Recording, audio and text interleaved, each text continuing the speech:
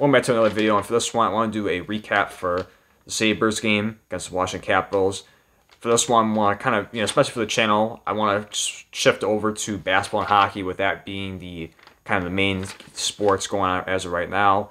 Depending on how the XFL goes, I will make a few videos about that. I'll still keep, I'll keep you guys in touch with the, you know, trade rumors, acquisitions, cuts, and such like that for the NFL. But for right now, it's pretty slow in the next few days, I would probably assume that there might be some surprising cuts, but for the most part, it's going to be for a little bit. It's going to be slow. So I want to start a little bit with hockey.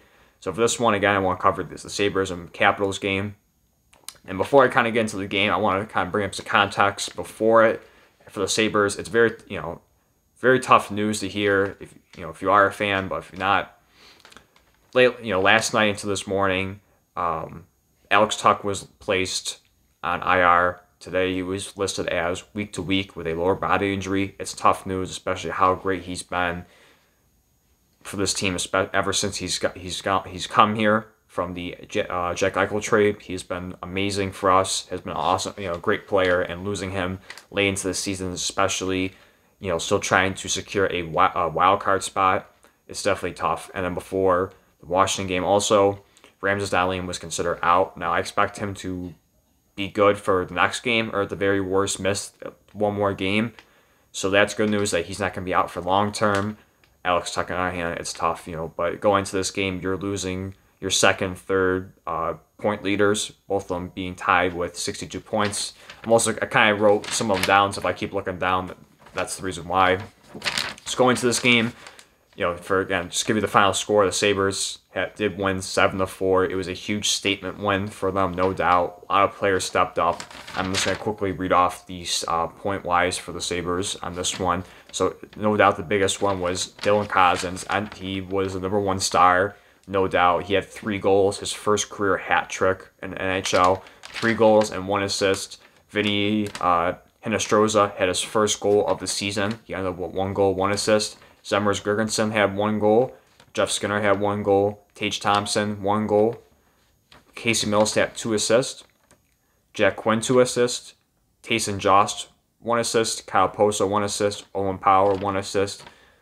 Uh, Mattias Samuelsson, one assist. And uh, Lyubushkin, I always have a tough time pronouncing him, one assist as well. So a lot of people stepped up. Big game. Also, too, it's also the jerseys. I, I don't have the right jersey on, but it's the, the 90s throwback Still have to still have to go buy one for that. But no doubt, it was a big one for them. It was a big one, especially Washington being in the same spot we are, fighting for a playoff spot. It was it was huge. Uh, UPL had stopped 26 shots, or yeah, 26 of 30 shots. They gave up four goals, uh, of course. And for this one, it's it, it worries me. Even though we did blow them out, even though we still we scored seven goals, giving up four goals too is a lot. And you you know you kind of look at the general stats for the team. The Sabres are uh, one of the top teams in scoring, but also one of the worst teams and give up the most point or most goals. So it's definitely a tough situation. It's definitely a very bad spot to be in because you don't know what team you're going to get per game on a night to night basis. There are times where the last three games you get these great, you know, the great team, you know, the great Sabres, high scoring, seven goals in this game uh, six games in the Tampa game. Well, there's ones before that. You know, you look at that. They had a few game. You had a few games where they're on a losing streak where they get up, you know, five, six goals to teams. So it's definitely a hot or cold team, and it's, it's especially in the playoffs. You don't, you can't have that. You need a consistent team regardless. And for this one, the next five games are going to be very uh, telling of that if they are worthy of it. But no doubt, just sticking with this game, it was you know again a great great step up from a lot of teams, no doubt, a lot players to say. Dylan Cozens, of course, uh, is has shown of late that he is worthy of that contract extension a couple weeks ago, seven years, forty nine million. People had some concerns on that that contract if it was paying too much for him, seven years annually. But so far, he's definitely stepping up. And again, going to the next five games, he's going to be one of the top players that's really going to have to do that. And if he can, it's that contract's going to look like a steal, just like Tage Thompson's contract. Of course, Tage Thompson is right now is a superstar in the NHL. He is fit. He is fifth in NHL in points, and he is also third in goal scoring.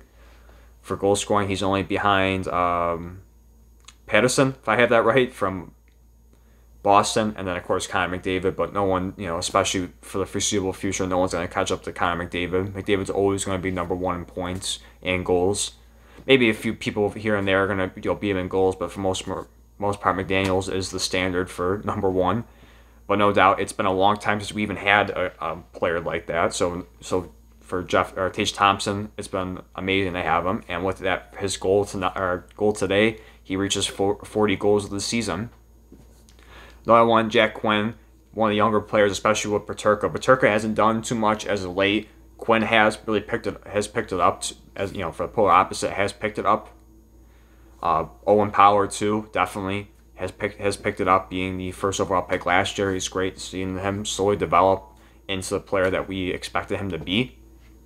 And especially with Rasmus Dahlin, hopefully it's, it's not long term and he can come back next game. But if he isn't, he's gonna have to step up and take his spot. He he would he also for this game he led the team in most minutes out there. He had over 27 minutes of ice time so it just it just shows you kind of how well for one that he he's kind of forced in that situation, but also how much that they trust him.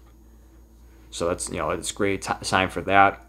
Casey Mittelstadt too. I see a lot of people are frustrated with him. People saying oh, he should get traded. I don't know how I feel. Um, it's I don't know. It kind of goes up and down for, for me. There's games where I do like him, and there's other games where I don't. I won't be surprised if he gets moved potentially. I don't. People were saying, "Oh, for uh, Patrick Kane." I don't see this. I don't think they're gonna make the move to get Patrick Kane this deadline. Who knows? I'm not gonna say it's impossible, but I just don't see that. Maybe he could be a, a, a piece that they, they throw in for that for him. Same with Girgensons. He's probably be gone after this season. But another person I really stopped up to was Skinner. Skinner, as of late, you know, for this season and, and last, has really has really shown that he is worth the money and he's he's a, he's a big part. So again, if you're taking away the top two, or the second and third in points, it is Skinner and Cozens. Skinner has 58, Cozens has 48. Kind of reflects on today's game who were some of the top players in this game. And no doubt they, they really show that. You know, I can't I can't say enough for Cozens. He really stepped up and he really played he played well. But I want to switch to the next five games because I that's just a minute ago it's going to be telling of what this team's going to be like. So the next five games is Columbus, Boston, Tampa, Edmonton, and the Islanders. Very tough. All four of the five are playoff teams. So no doubt the next game, it's a must win. You have to take that as an easy, easy. I want to say easy team because no team is easy, but them being one of the worst teams in NHL, you have to you have to take that one. You have to get the two points, and after that, you have to fight for every for all of them. So course, the most most of them they most points they can get out of the next five is ten. That's unlikely. I I'd be shocked if they did that, but for me, I project them to get six out of ten points. Them that means that they would beat Columbus and Edmonton or Columbus and the Islanders, and then getting a point in each of the you know the, the three, other three games: Boston, Tampa, Edmonton. Worst case scenario, I see four points. I see four points. That being again just Columbus and the Islanders, and best case scenario is seven, where they get a point every single game. I was like for six, it'd be uh, the only loss I would have is against Tampa. That's only so for the six points, the only loss I, I project them to have is well to not get any points is Tampa, and then Boston or Edmonton being overtime or shootout losses. But no doubt, six or seven, it, at the very worst, six points has to be the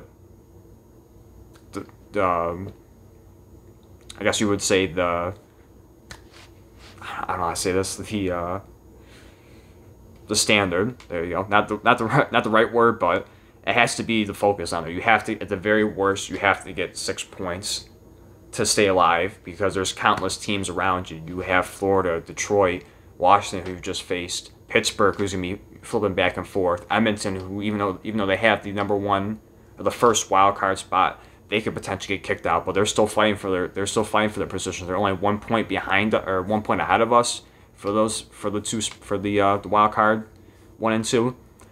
So it's it's gonna be tough. It's gonna be it is it's gonna be, you know, these next five games are gonna be telling of what this team is made of. This could potentially make or break their playoff run. Uh, it's it's a very nerve wracking part of the season. This is the probably the farthest of the playoff drought it's been a long time. We I know we uh, we're like the Bills. We own like the longest playoff drought in the NHL, but But this is probably the farthest we've been into the season where we still have a playoff chance. Most of the time, we're usually, you know, halfway through the season, we're already there's already projected that yeah, it's we're not gonna we're not gonna make it. We're usually top five worst, and it you know the bottom five worst teams in NHL usually, and it's probably you know pretty much you know said and done that we're not gonna make it. So at this point in the season where we have just over 20 games left, you know give or t- you know give or take, and we're we're in playoff contention and have a wild card spot it is exciting, but also again it's nerve wracking because you don't know which team you're gonna get. If you're gonna get the tonight's team where they they just look like a juggernaut offensively, scoring seven goals, six seven goals, or is it gonna be the flip side where you're losing six seven, you know, losing by or giving up six or seven goals, and no doubt.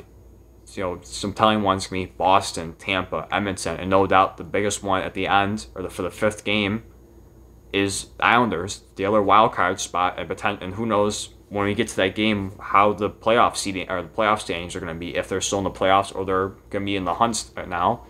So it's going to be very you know challenging. But if they can do what they did tonight, obviously they'll they'll be good. And some of the players I wrote down that need to step up are the younger players. Power for Dahlin, but I expect Dahlin to be back soon. Peterka, he ha- you haven't heard of him as of late. That he really had a, a fast start earlier this season, but really has cooled off since. He's to have to step up. Quinn, the polar opposite, has really started to play well as of late. He's going to have to keep continuing that. You know, give two assists, one assist, a goal, something. Cozens, of course, is the, is the main one.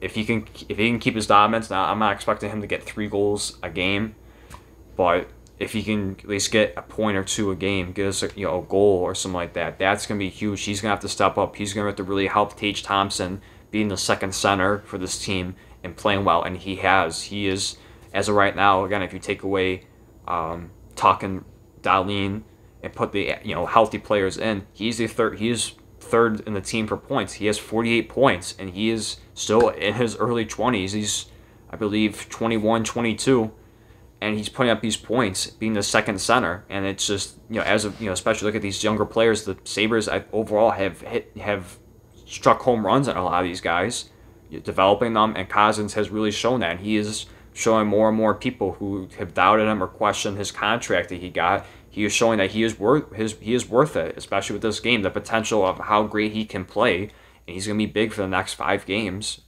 And the last one is Krebs. Again, um, points wise doesn't jump out at you, but definitely a, a, good, a great player, great young player. I don't know if he's gonna be a piece that's that might get moved in the in the trade deadline. Again, some people kind of threw his name out for Patrick Kane. Also, I've seen. Again, I don't know, especially with him in Mittelstadt. I'm not sure, but I don't want to say to 100% that he is on the team or 100% that he's getting traded. He might be a candidate, especially you know that'd be a, no doubt one of the players. If we did get a Patrick Kane that Chicago would be interested in, I don't want them, of course, to get rid of any top players, but Krebs could definitely be a candidate for that.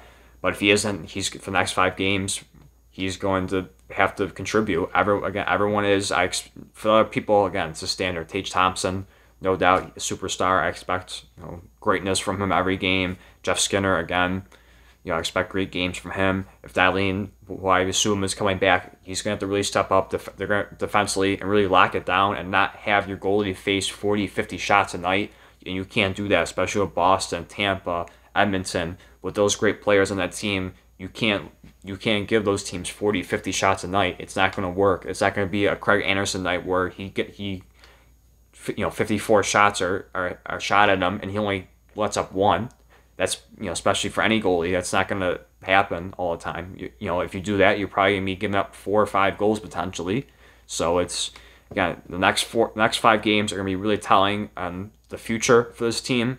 Again i expect for points wise six points is at the very worst that you can do. Even though i said worst case scenario is four i think for the very worst for this team to be safe and to be in a good position to make the playoffs six points is a must to get more obviously that's a, it'd, be a, it'd be great but six points to me is the is the floor that they have to reach.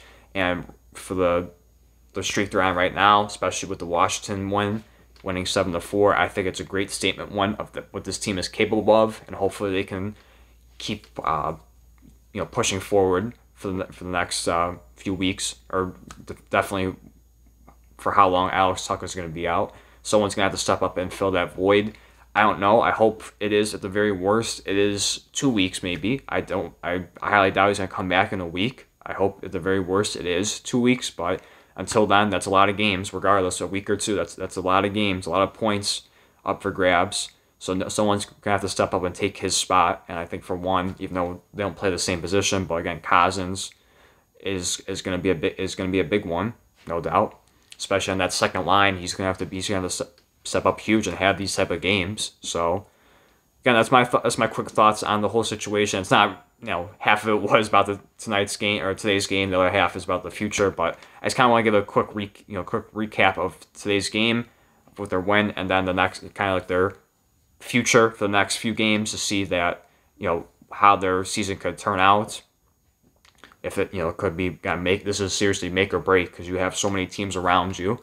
So again, I just want to make a quick game or a quick uh, video about this. Let me know your thoughts on the Washington win and also what you expect from the Sabres in the next few games. What's going to happen with them if they're going to make the playoffs or not.